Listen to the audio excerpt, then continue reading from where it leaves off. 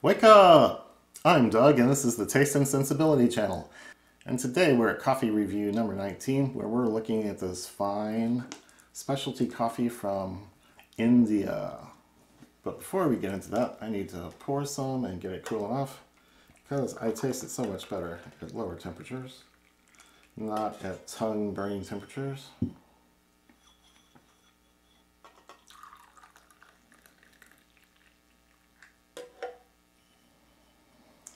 And I usually show you on a map where it's from. And this will take a couple maps. Because my usual source, Coffee Obsession, a wonderful book by Anette Moldvaer, does not really show precisely where this comes from in India. So there's a nice section on India that I went over last time.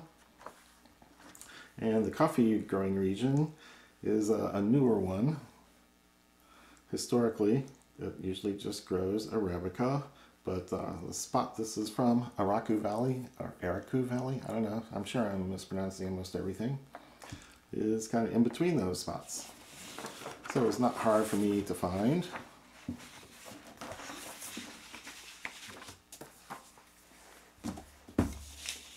Uh, Google Maps, so here's a place called Andhra Pradesh. This is the whole Indian subcontinent, and I cut off the point down here. Andhra Pradesh, and up here is Odisha. And this place, Araku Valley, is kind of in right in between them. So the two spots located on the map are surrounding the origin locale of this coffee today. So this is from uh, Len's Coffee. And I'll put a link down below so you can take a look at the website. So I guess another thing before I get tasting is that I'll remind you to like and subscribe if you like all the things that you're seeing here on this channel, whether it's coffee or black licorice or honey or any number of other things. Please give this video a thumbs up and leave a comment or question. I've been having a good time interacting with you all who have questions or comments about things. And subscribe to the channel and click on the bell to get notified when the new videos come out on Mondays. So, what's in this cup? Ooh, it smells deep, dark, rich. You can tell it's roasted. But it feels a little warm to be drinking it yet. Wow, rich. Wow, it's not all that sweet.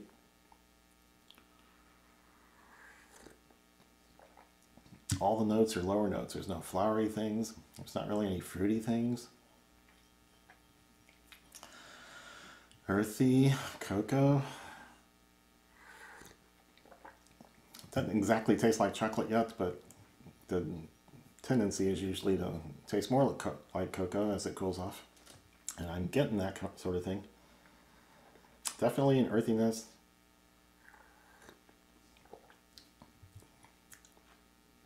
Wow, it's rich and it, wow, all the notes are unfamiliar, except the earthiness.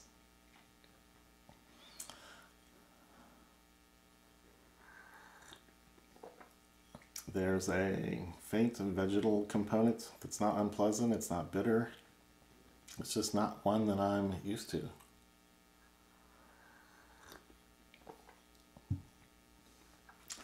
So I bought this a few weeks ago from Len's Coffee. This is a three pound bag of unroasted beans. And they say this works at lots of different roast levels, light on through to darker. And I guess I got about what I wanted when I roasted these, but this is the only roast I've done. I only tasted this a couple times. And I remember it being complex and interesting and way different than all the other things I've had from Africa, Central and South America. And it's still different. I like it. It's rich, medium body, robust flavor.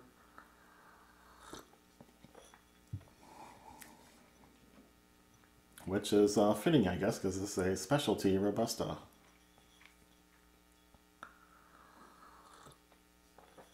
that coffee growing region that was in the book on the eastern coast. along the eastern coast of India there is known for Arabica. And Robusta is grown in other parts of India, but this is grown up in the mountains and it's very interesting, very good.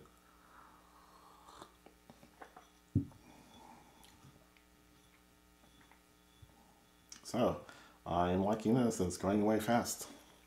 Just has a different mix of flavors than the other coffees I've had. So I recognize the earthiness. It is turning into a bit of a cocoa note. And if I had to pick out anything else that was food-like, I might say there's dark fruits or dried fruits, like a vague raisiny character, prune, plum, date, fig sort of thing without a lot of fruit sweetness. Sometimes those appear in things with, with and without sweetness, and this time it's without. Hmm. Wow. And it went fast. So I'm definitely liking it.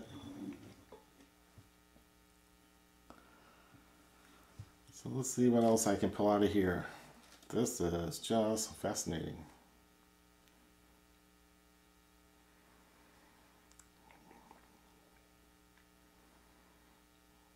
I could tell it was a dark, darker roast, darker body, dark, you know, fuller, more robust body, just from the smell, and all that stuff came through on, the, on the palate.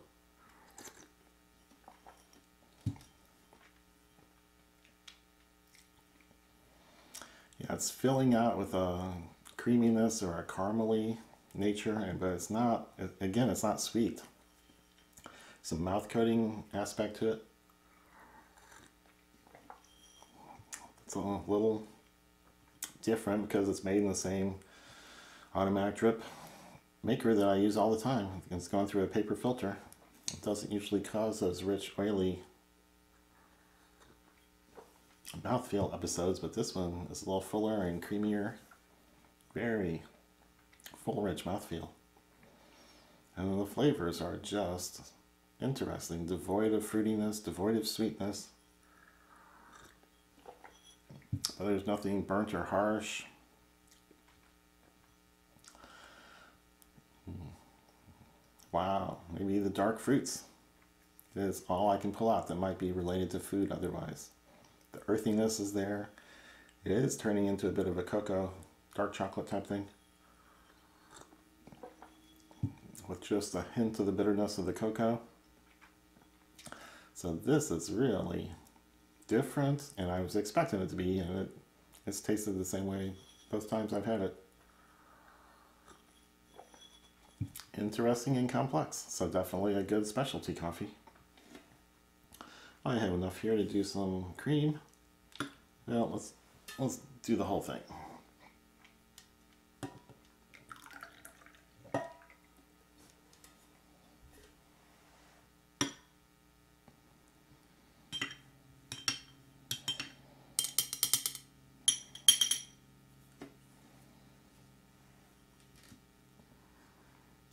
The smell, it's definitely heading in the buttery and butterscotch direction.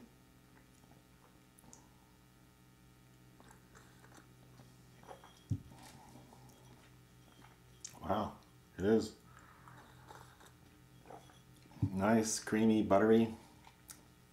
But the, the cocoa notes and earthiness, they don't turn into a chocolate milk-like thing like I usually get.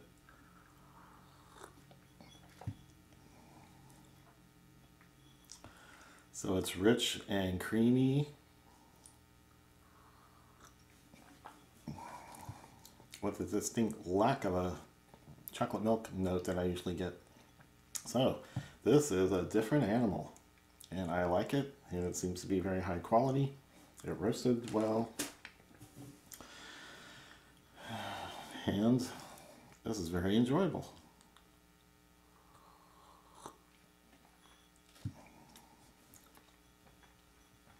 So I'll have a link down below to Anette Moldvaer's book. I'll have a link down below for Len's Coffee in this particular item.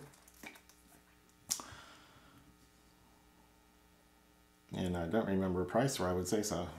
I'll just put it on the screen. So this is very interesting for home roasters to uh, play with. I'm dying to do a really light roast and a darker roast and see what happens. So I definitely recommend this for explorers who are looking for new flavors. So the second topic today is Arabica versus Robusta.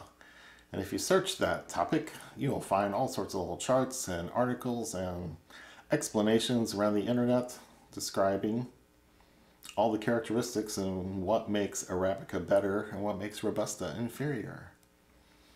Only a very small number of those sources will come to some other conclusion.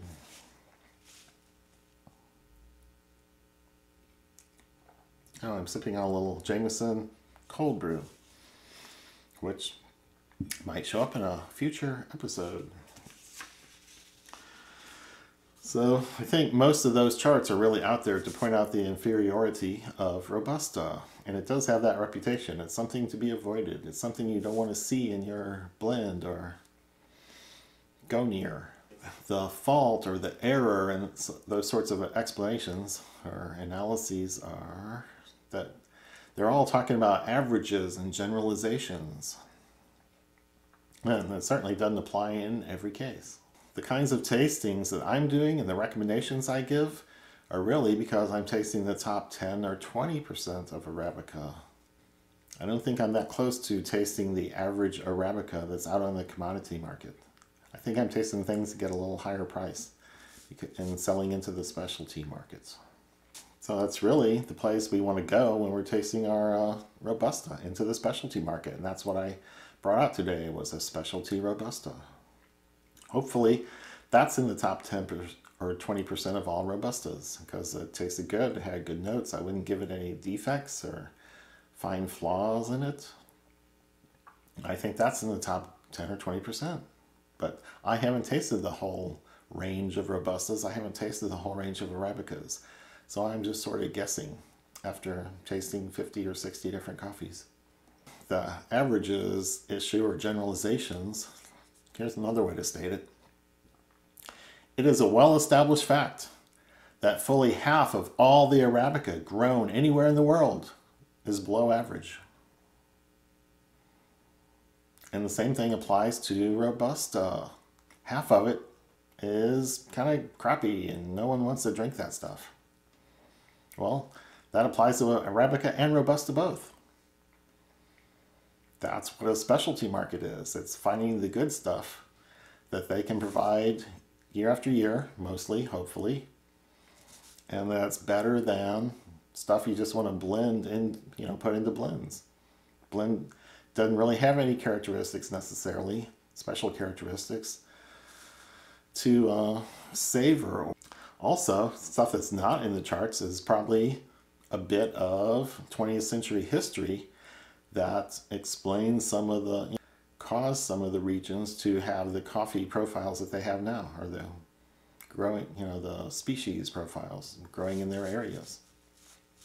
I think there was a Brazilian frost in 1954 that wiped out a bunch of trees and caused General Foods, who was a big multinational company and in charge of Maxwell House coffee back then, before I was born even. It's that old uh, they needed to start adding Robusta because all of a sudden they weren't going to be getting from South America. So look at the years after World War II.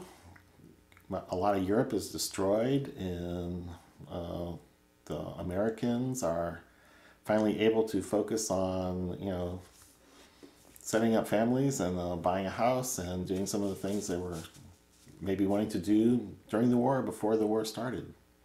And there was a booming consumer market in the US for all kinds of consumables. Another sip. Wow, it tastes good like coffee. Hmm. So all the extra demand and then the Brazilian freeze and uh, thing after thing after thing meant there was a lot more Robusta going into uh, all sorts of parts of Southeast Asia parts of Africa, parts of Central America and South America. That part of the history means Robusta is not really growing in the best coffee growing parts of the world.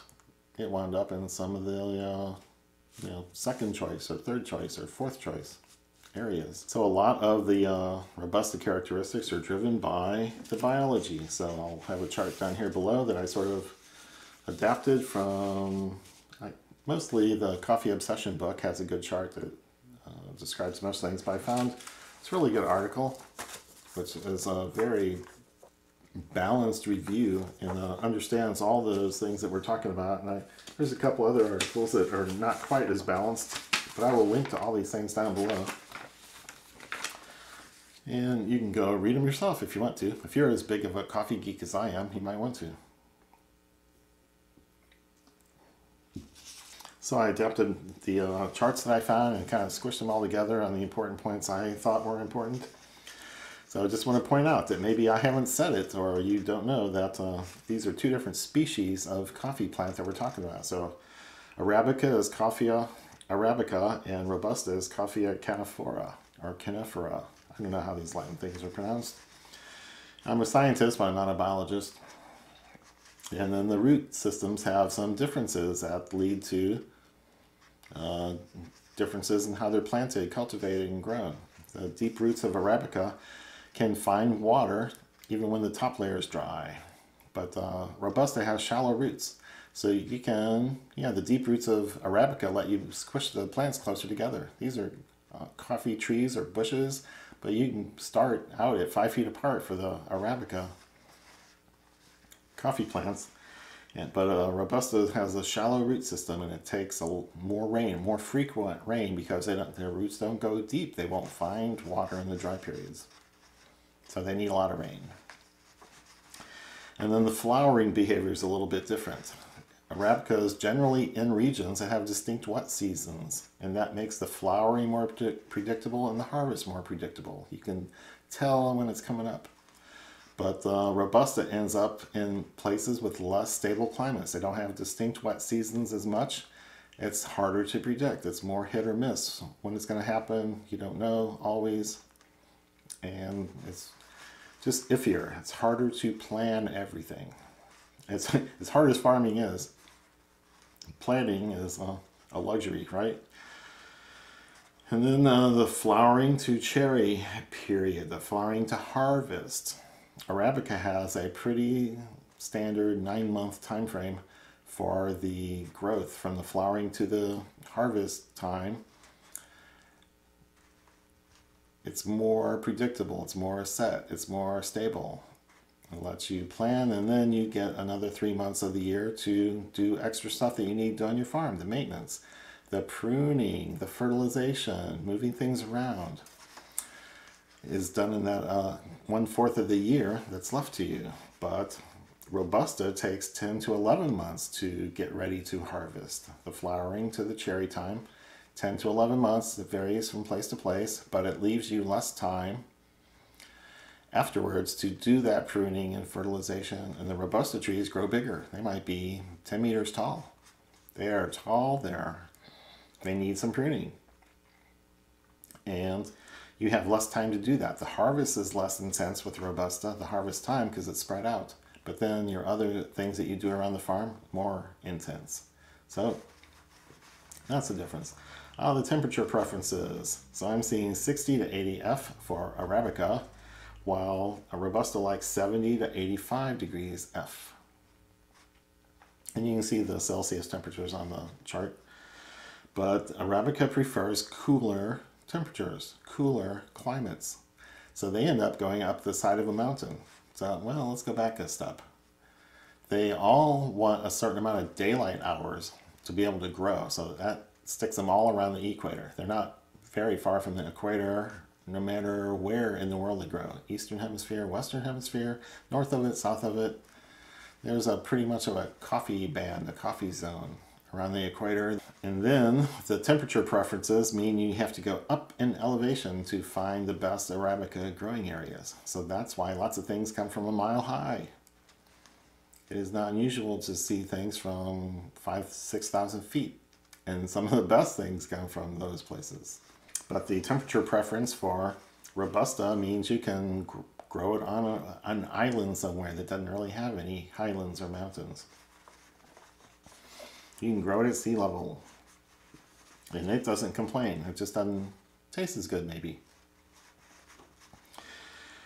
So and that's so that's the altitude part of the chart is it has to go up to get that cooler temperature if it's Arabica and Robusta can grow down near sea level. So that's the biology part and the plant's behavior part of the charts that I find. Then, this is exciting for me because I'm a chemist, here's the chemical and physical composition differences between Arabica and Robusta. There's a big difference in the sugar content, which obviously is going to affect the taste. How many times have I said, ooh, this is sweet, there's a sweetness, what is it? It's fruity, it's uh, brown sugar, it's something is sweet in this thing. I didn't over roast it, I didn't go to a real dark extreme and cook all the sugars. And I'm tasting sweetness in this. Well, Arabica is 6 to 9% sugar. I don't know exactly what kinds of sugars they are, but I've been tasting them for sure. But Robusta tends to be between 3 and 7% sugar, so it is definitely going to, most of it's going to register as a little less sweet than Arabica. Well, guess how that affects people's preferences? People tend to go for the sweeter things.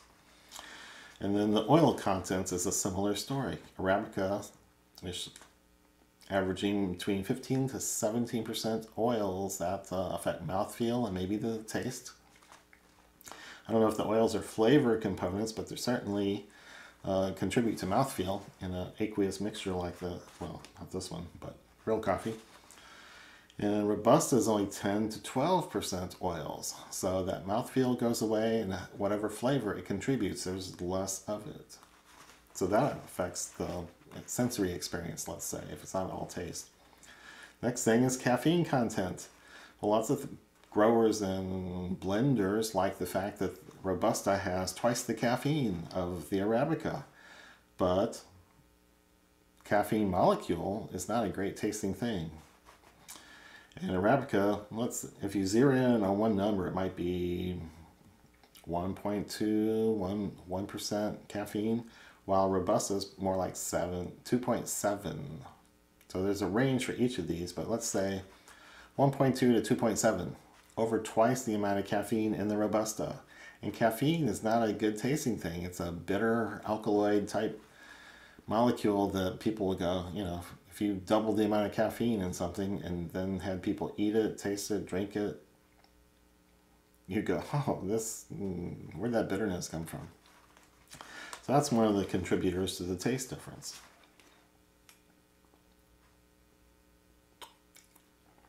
I don't drink a lot of Jameson things, but this one's good. Next is chlorogenic acids content, or CGA. Oh, oh man, this one's hard to explain. I had to do a little research on this to find out what the chlorogenic acids are. They're not like acids that, uh, you know, eat through steel and uh, dissolve things, but they're phyto compounds plants make. There's, I had to look up an article. Oh, this is this is nerdy had to look up this article, and these people isolated 69 different chlorogenic acids, and they're all very closely related in structure. I can put a couple up on the screen, but there's like three pages of these structures. These are different structures, three or four across all the way down the page. Then there's another page, and another page, and another page, and they isolated all these different compounds. So they list all the names, they give them little abbreviations or suggested abbreviations so that people can talk about them in other literature and chemistry papers. And there's a bunch. And they are important because they probably have health benefits. Scientists have found that they have different benefits regarding uh, the regulation of blood sugar, basically. Let's say that. So you get some of these chlorogenic acids in you and it helps, it's good. Your body works better. So these are shown here in this table as 5.5 to 8% in Arabica, but there's more in Robusta, 7 to 10% are chlorogenic acids. So that's a lot of one class of compound, one class of beneficial compound most likely, that's in these coffee beans that everyone reveres and and trades for all around the world. So CGA content is one of the features. And then the bean morphology. And let's see, I'll probably just steal one of the pictures in this article here. This is a good one. I'll just put it on the screen or show you on these. So some of these Arabica beans have kind of a crooked, squiggly line going across. Yeah, none of, very few of these are straight. Crooked, oh, you can't even see that one. Anyway, Arabica is crooked, Robusta is more straight across. So I hope they don't mind that I stole the picture. So all those biology differences and chemical differences lead to people having preferences for Arabica over and over and over again and not for Robusta.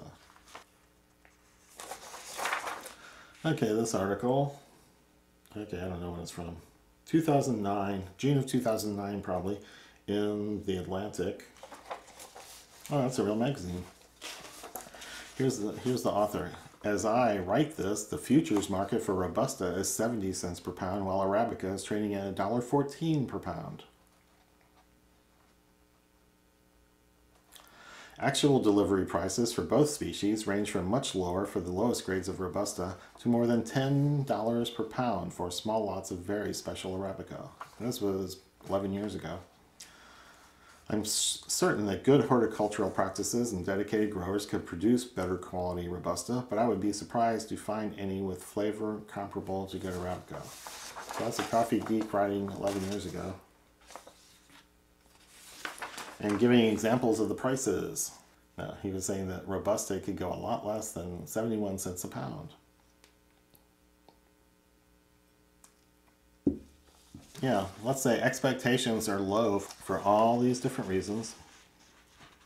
So the whole supply chain of coffee in the world has significantly devalued Robusta. So in a situation like this, someone's got to be the first one to say, I'm going to make it better and try to get more for it. So if someone's got to step out of their comfort zone or do something slightly illogical economically, short term, in order to get some kind of longer term benefit, someone's got to be a risk taker. You only have to be one point of that supply chain to and upgrade your level of performance or upgrade some sensory characteristic and people will probably notice. But you got to have other parts of the supply chain afterwards uh, agree that the change is significant or value it more in some way. So from all the articles that I'm reading here, people started seeing specialty Robusta push its way into the market in various places around the world, maybe around 2010. And it's been pushing harder and harder ever since. So that, I mean, it sounds a lot like maybe the whiskey boom or the cocktail boom or eh, craft beer is too old for all that. But other thing, you know, cigar boom, people were looking for sensory experiences 10 years ago. Plus or minus and start you know they were looking for them everywhere. So maybe it was fed by part of that so I got was able to find this specialty Robusta that I reviewed today from India. Uh, episode coming up shortly, I'm going to compare a specialty Arabica with a specialty Robusta, grown in the same place pretty much, in Vietnam. So that'll be an interesting comparison. Don't be afraid of Robusta, be afraid of average Robusta, and be afraid of average Arabica look for those specialty items and learn how to read a label and figure out that this is not just some run-of-the-mill coffee, but that they've done something to it. They've grown it in a place that's interesting or they actually care about what they're making and have been able to move it along the supply chain to get this stuff to you. So that's my conclusion is that uh, Robusta is not something to be feared. It's just something to be studied. Learn more learn how you can find specialty Arabicas and specialty Robustas where you are in, in your market and how to get how to get the most out of them. So again, if you like the videos, please give this video a thumbs up, like it, and leave a comment, and leave a question.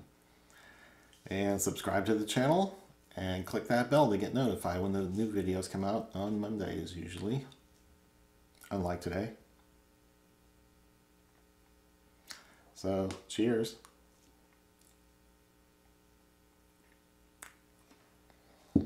Mm. So good, so deep, so dark, so rich.